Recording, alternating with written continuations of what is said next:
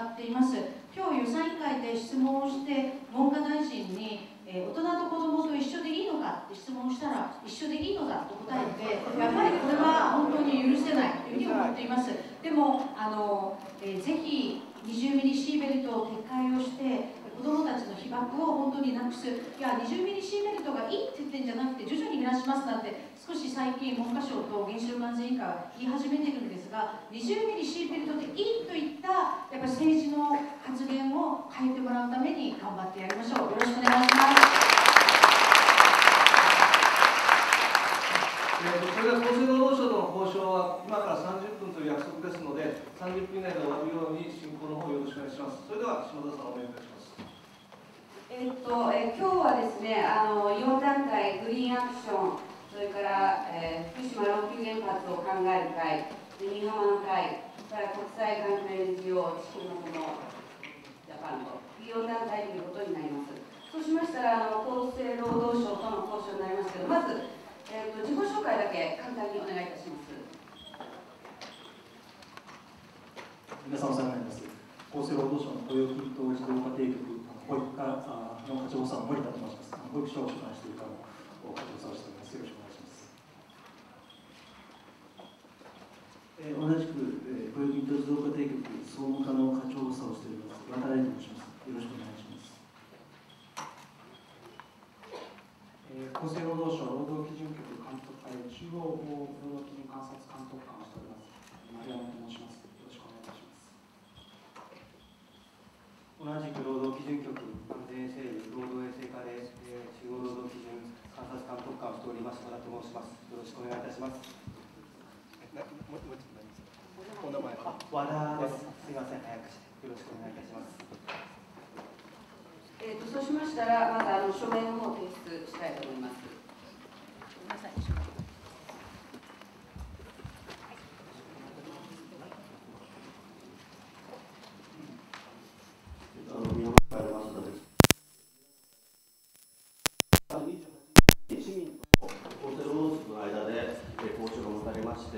その際に参加した、え市民、参加者一同から、え、と要望書を提出しました。の8項目の要望書、えそれに対する賛同署名を集めまして、え個人で7247筆、え、と団体で211筆、え合計で7458筆、ここに集まっておりますので、え今日受け取っていただきたいと思います。でその中では、え避難区域の拡大をすること、えそしてあの外部被爆はもちろん、えー、内部被爆を含めた全体の被爆についての集団戦場を計算して随時公表すること、で放射線作業者への基準値の、えー、250シーベルト、えー、については撤回すること、えー、全体としては公衆の、えー、洗浄限度である年1ミリシーベルトをあの厳守すること。ということを要望しております。えー、これ今渡しますので受け取っていただきましてあの直ちに実行していただくことを求めます。よろしくお願いします。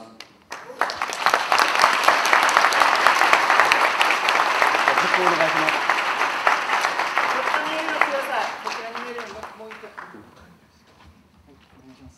ください。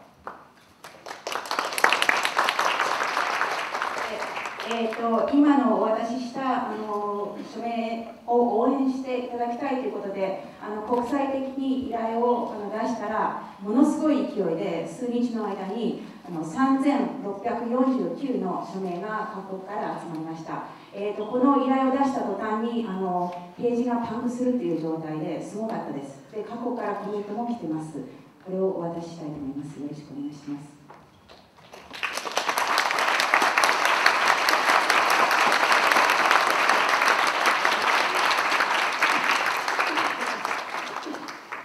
次にもう一つあの緊急要請があります。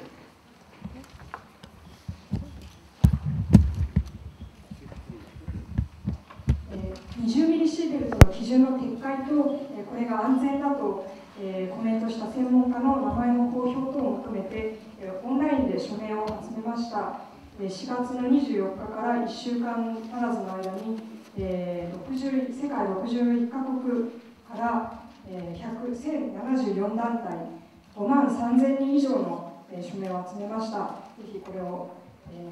読んでいただいて、回答をいただければと思います。よろしくお願いします。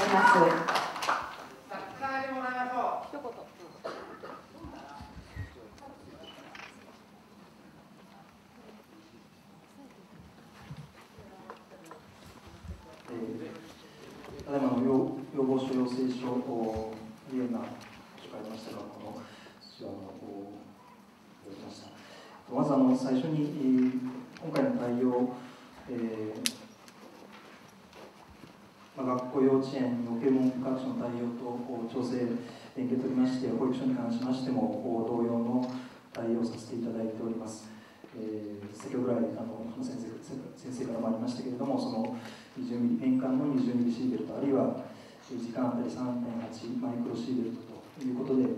えー、これは文部科学省が学校に対教育委員会に対して、えー、発出されたものと同じ内容のものを我々も福島県の保健学に対して、えー、通知を発出しまして、えー、対応をお願いしているという状況です。この後あの個々の、えー、ご要請、ご要望ともあると思いますので、それに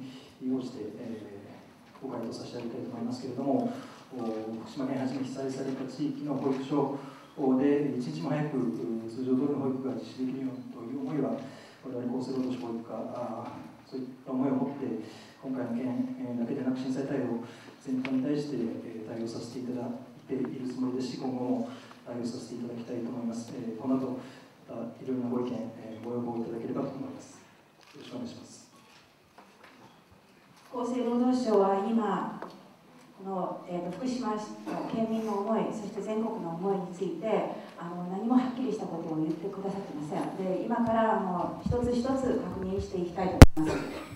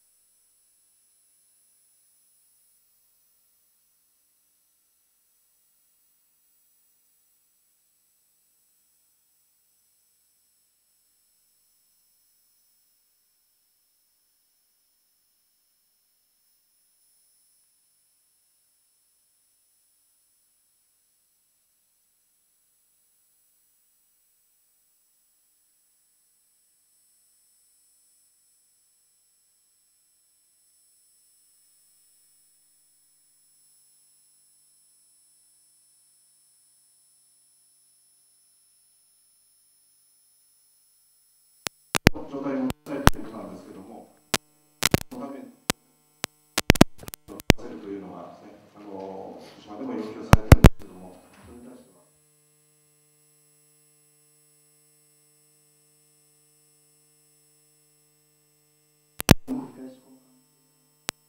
議論がされております。えー我々、えー厚生労働省保育所を所管しておりますので、文科省の学校幼稚園の対応と同じ対応をするということで、これまでも対応させていただいておりますし、今後も。おいや、文科省はいいです。あの厚労省として、はい保育園に対して、今、あの通常の状態に戻一刻も一日も早く戻したいとおっしゃいましたよね。でそれに対して、どういう措置を取られるのか、特にあの保育園については女性のあのするようにという要求が、地元からも多く出てると思うんですけども、どう対応されるんでしょうか。あの保育所のまず状況をあのお話しますと、先週の時点、4月28、29日の時点で、えー3度目のお調査を行いました。その時点で、えー、我々の示しておりました3.8マイクロシーベルト時間あたりの数値を上回る3.8以上のお保育所はあの一件もなくなっております。もともと1箇所、福島市内の1箇所の保育所が3.8マイクロシーベルトを3.8が議論になるような場所っていうのは、通常の状態ではないですよね。えあのその意味で、えー具体的に除染をしする措置は取られてないですよね？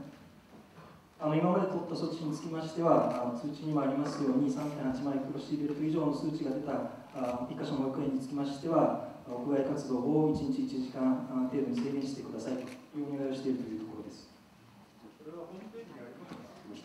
じゃあそれであの、えー、と4月19日の、えー参議院の厚生労働委員会で、福島美里議員の、質問質問に対して、厚生労働大臣が、えー大人と子どもはですね、えー当然違いがあるわけで、特に子どもに対しては基準値などについても配慮しなければならないというご意見、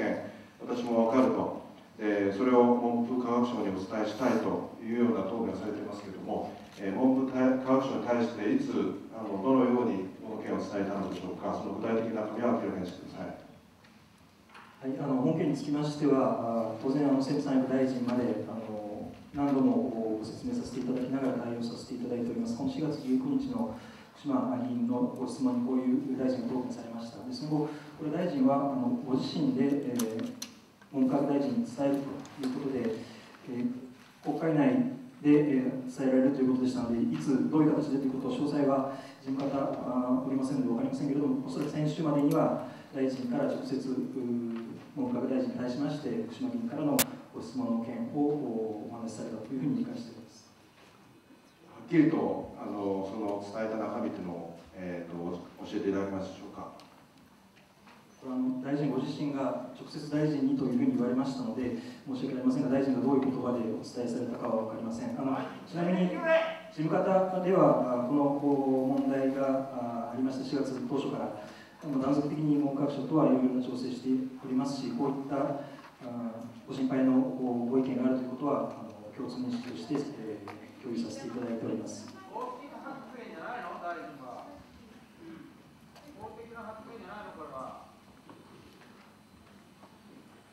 なんで事務方は分かんないの法的発言を。そしたらですね、これ私自身が細川大臣に質問したことなので、大臣に直接委員会の場かどこかで、どういう、いつ、どこで、誰にどういう形で言ったか言いますが、厚労省にお願いなのは、文科とこあの、えー厚生労働省は文科省と違って、命を守るという観点から、ちょっと厚生の立場から、大臣がここまで言ったんであれば、省一体となって文科省に行ってほしいということなんですよ。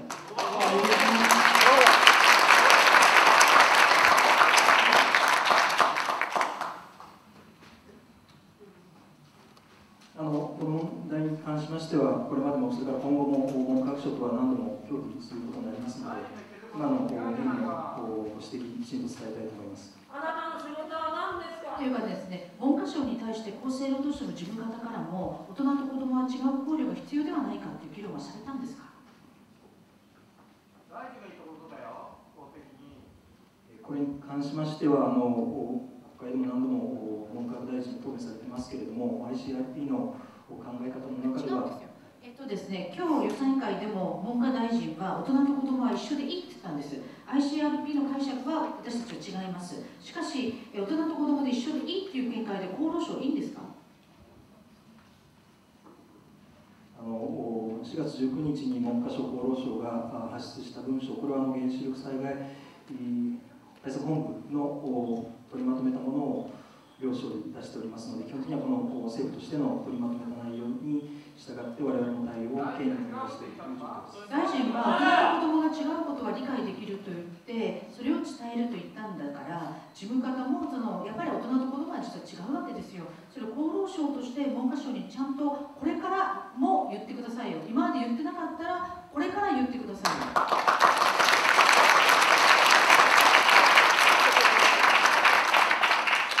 今日こういう形であのご意見いただいたことについてはきちんと伝えます。そうですねあの文書で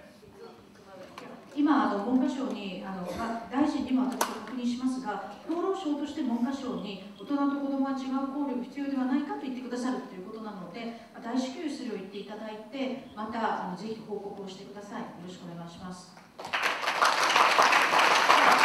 これはあの後でやるということでよろしいですね。よろしいですか？文科省とはきちんと話をします。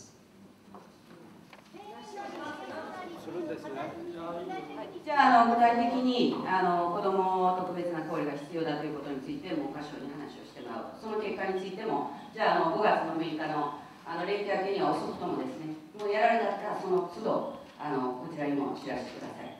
えー、とそうしますとですねこの今お話を聞いてますとその3.8マイクロシーベルトこれ上回れば1時間にあの郊外の活動を制限するとそういうふうにしてるんだと。だから別にあの除染の必要もないというようなことをお答えになったんですけどもその厚労省としてはその18歳あの未満のものに対しては放射線管理区域で労働させるということはこれ労働基準法で禁じられていると。いうのはご承知だと思いますけども今回の福島の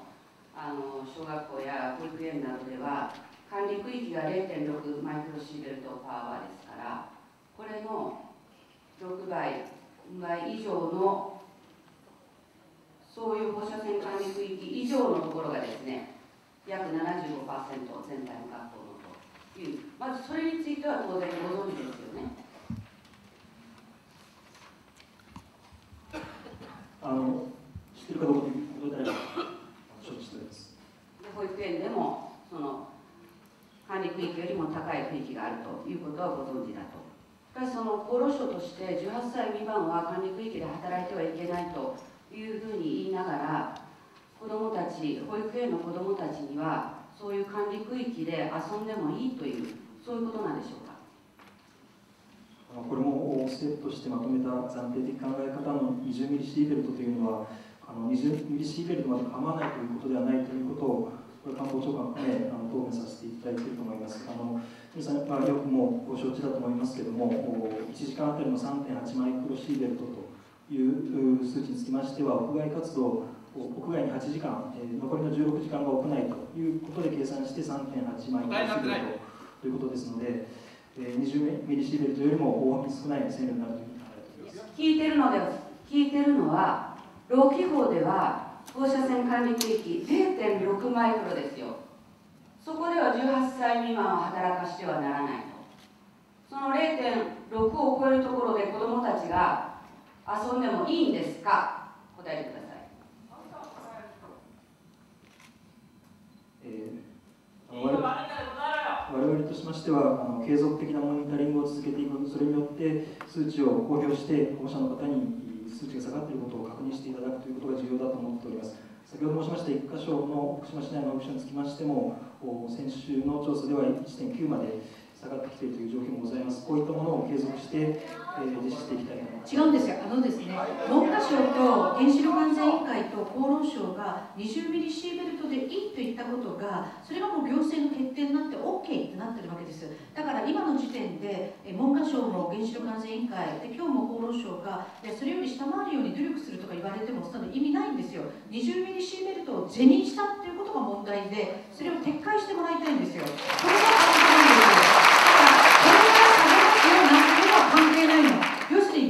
が20ミリシーベルトでいいと言ったことを撤回してほしいんです。どうですか。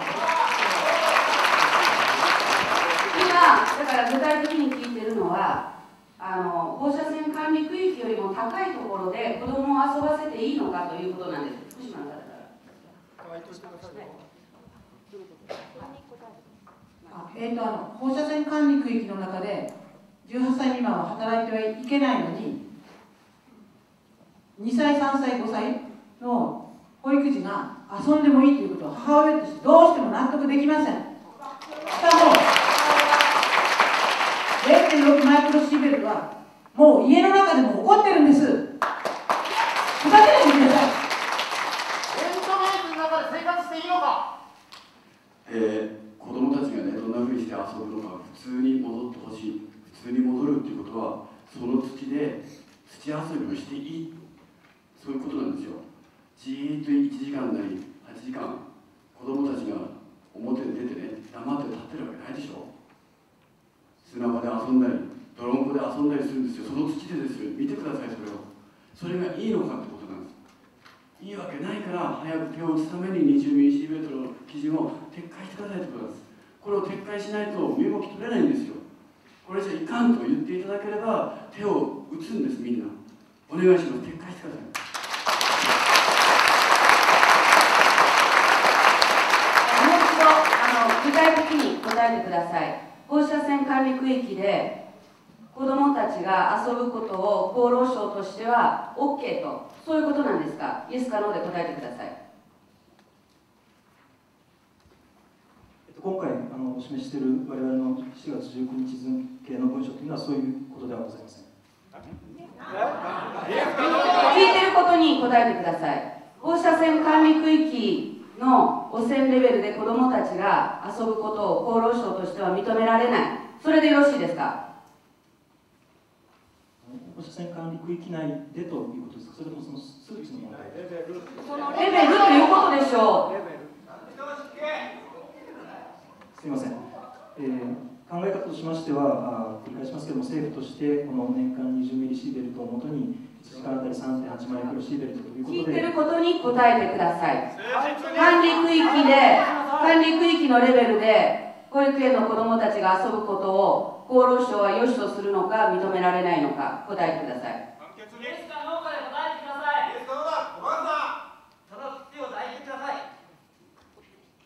答えてください答えてください。答え答えてください。あのお答えください。管理区域レベルで子どもたちが遊んでもいいのかどうか。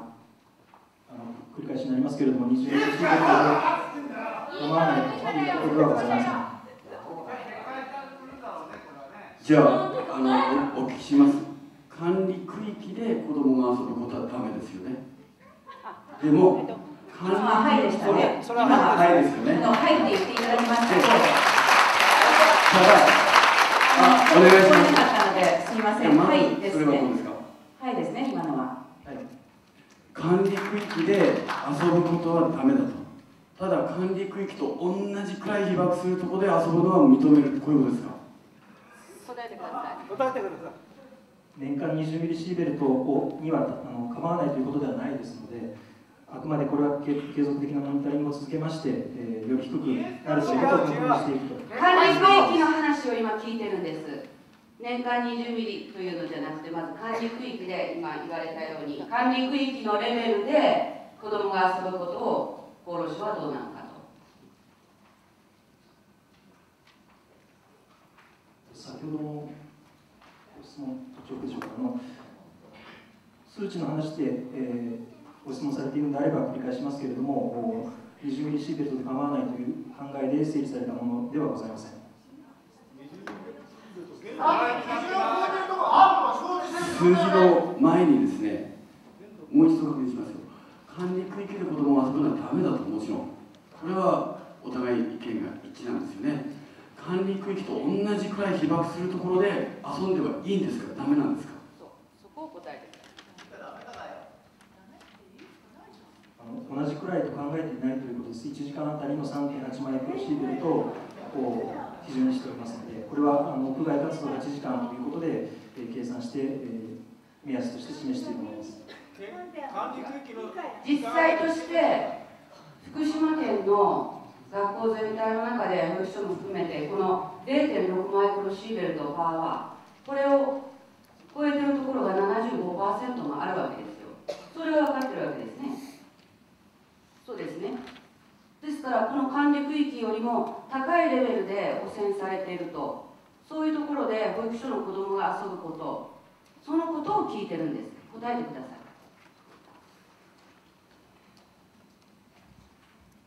あの繰り返しになってすみませんけれども、1年間あの、この値を継続するということではなくて、事実としても数値は下がってきております、その継続的なモニタリングをちょっと待ってください、1年ちょっと待ってください、1年間の話じゃないんです。管理区域はこの0.6マイクロシーベルトについては1年間云々ではなくて一切そこでは働いてはならない。そういう規定なんです。そしてあなたも先ほど管理区域で子どもが遊ぶことは一切許されないと。そう認められたわけですね。だから私たちが聞きたいのはその管理区域レベルの保育園で遊んでいいのかどうかというそれだけなんです。答えてください。あのもうこういう形で1時間あたり3.8マイクロシーベルト未満であれば屋外活動を制限しないということで、えー、暫定的な考え方を示しているということは屋外活動を、まあ、認めているということになります。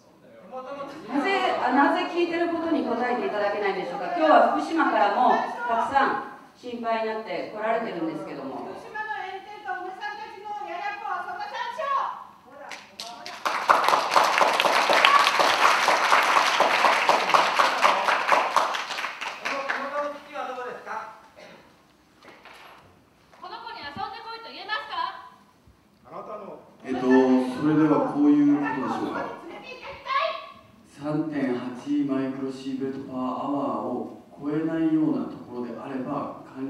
にいるような被爆は起きないとこう考えているということでしょうか？屋外活動を制限していない意味ではおっしゃることなると思います。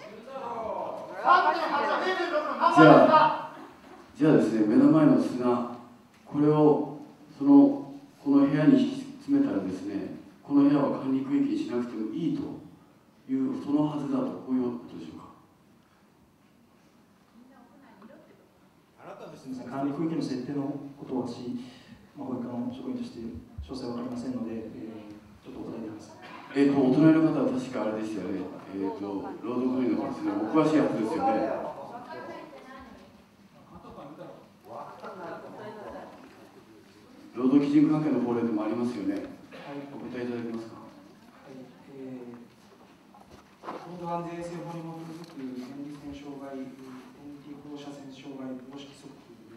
は、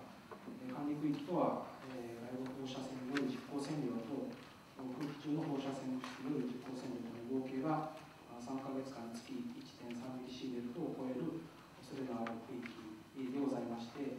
え、これは労働安全衛生法というその事業を営む事業者とそこで働く労働者との関係を記述すると。いう法律上の考えでは3か月間につき 1.3mC を定義は分かりました今私がお聞きしているのはそのあなたもあのマリアもご覧になってくださいその土をこの部屋に敷き詰めたらばこの部屋は管理区域にならないという意味ですか？とお聞きしております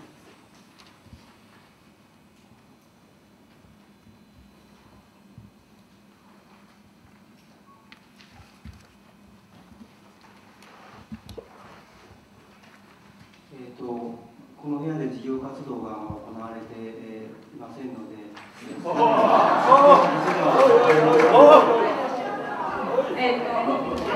じゃあごめんなさい、そういう言葉であれば私の言葉が悪かった。このこれはね、あれですよ、その3.8以下のところの土なんですよ。これを敷き詰めたら、ここにいる人は管理区域にいる人のと同じような被爆はしないということでいいですか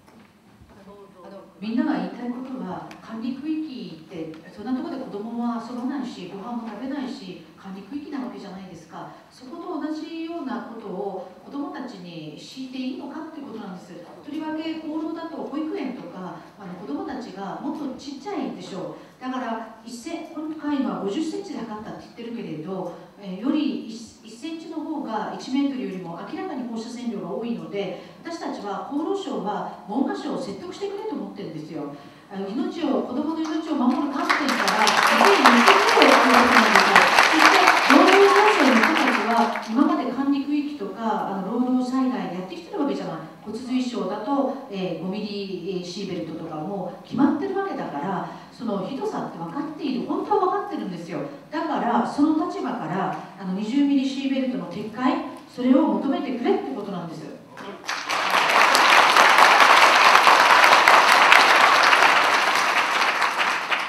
えっと、労災については、その事業活動云々の場合、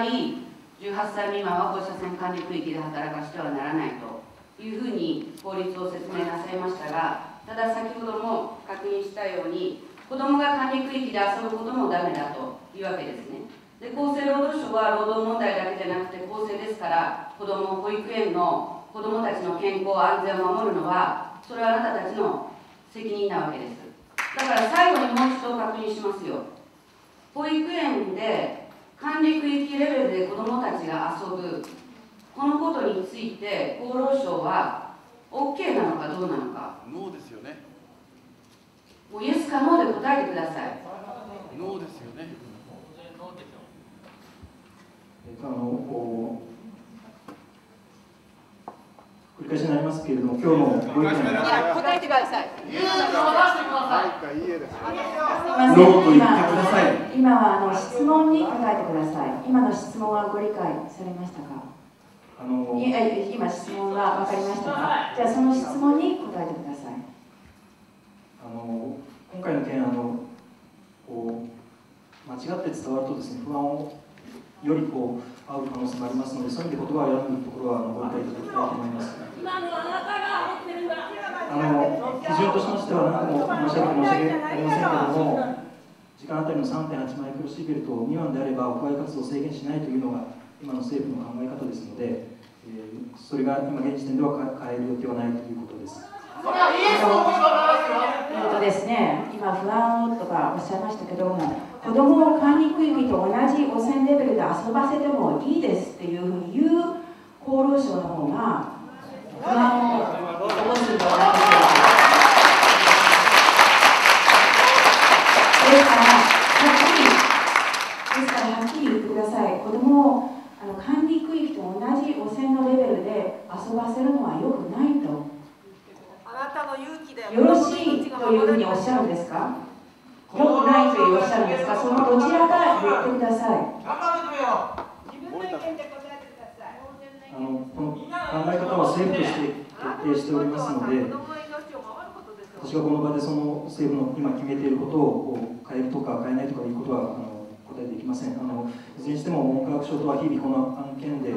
協議調整しておりますので、今日あのいただいたご意見ご要望につきましてはきちんとお文科学省あるいは関係のところときちんと議論をしていきたいと思っております。あの何度あの尋ねても同じ答えばっかりなんですけど。その時の中の空気を吸ってください。月給だろう福島の子供の気持ちを考えてください。福島の子供のお母さんの気持ちをお父さんの気持ちをおじいちゃんおばあちゃんの気持ちを考えてくださいどんなに確率が少なくても1000人に1人でも1万人に1人でも自分の子供に病気が出るってはっきり言われてるんですよ。だからだから20ミリシーベルトは撤回する。放射線管理区域と同じような環境のところで子供は遊ばせてはいけない。これを厚労省が文科省に伝えてください伝えてください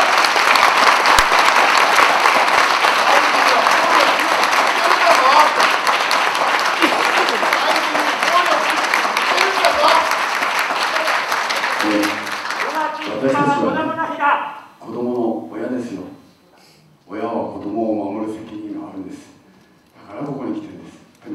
にも子供たち守る責任あるじゃないですか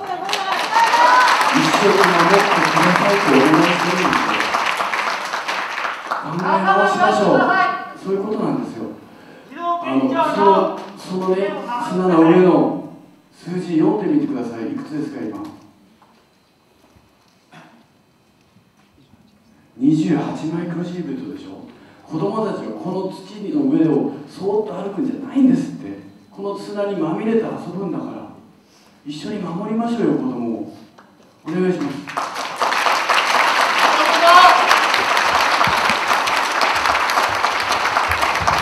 えっ、と、じゃあか一言ありますか？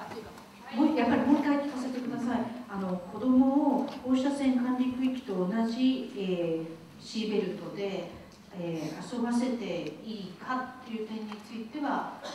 良くないというふうに思われますでしょう？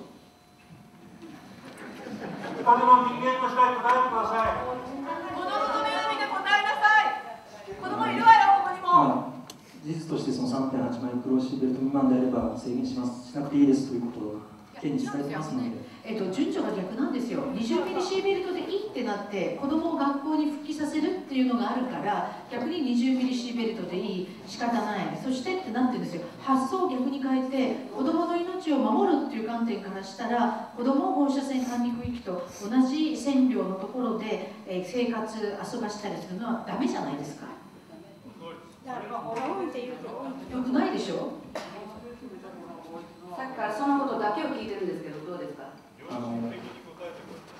私はあの個人として放射線のとに詳しいわけでもありませんので、ここですぐにお答えすることは難しいです。それは文科省と話をさせてください。そしたらですね、これにつの回答をぜひ文書でというのと、文科省としっかり議論してください。それにあの私たちもあのコミットしていきますので、あのとりわけ厚労省はあの命っていう観点からやってほしい、それから保育園の子どもたちはあの小学校のことよりもっと目線が低いというか、よりもっともっとあの放射線の影響が大きいので、大人と子どもが一緒でいいっていう文科省といい意味で喧嘩してくださいよ。お願いします。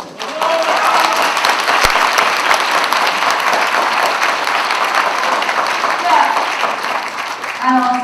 最後にまとめます。今日の確認はですね、えー厚労省としては、管理区域で子どもが遊ぶことはダメだと、これは認めました。で、管理区域と同レベルの汚染の保育園などで遊ぶことについては回答がありませんでした。これについて文章で回答をしてください。それと、要求しています、この20ミリシーベルトを撤回してくれという、このことについても、この、えー今日出しました3月28日と4月26日、これについても文書で回答がありませんので、これらについて文書で回答回答してください。5月の6日、遅くとも5月の6日までにということで、よろしいでしょうか、皆さん。ま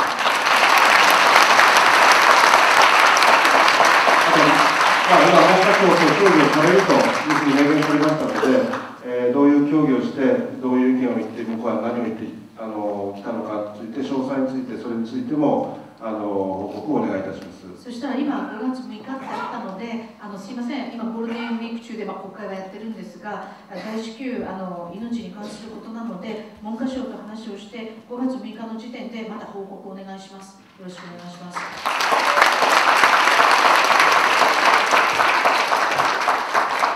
まあ、以上で終わりたいと思います。ありがとうございました。待ってください子供はこれから病気になるんですよ。今元気なんですよ。今ここで止めなかったら今すぐ病気になるんじゃないんです。白血病とかいろんなのは3年5年10年経って出るんですよ。今止めなかったら5年後はどれだけそういう被害者が出るんですか。今ここで止めなかったら原発はまだ止まってないじゃないですか。これからいい方向にないです子供の成長は早いんですよ。それだけ病気も早く進むんですよ。そんなもたもたしないで、早く結論というか、イエスかノーかははっきりしてください。何教の区別じゃないですか。何何教でもないですよ。本当することができるんだよ、市民は。今後は役人といえども、失態以上は税金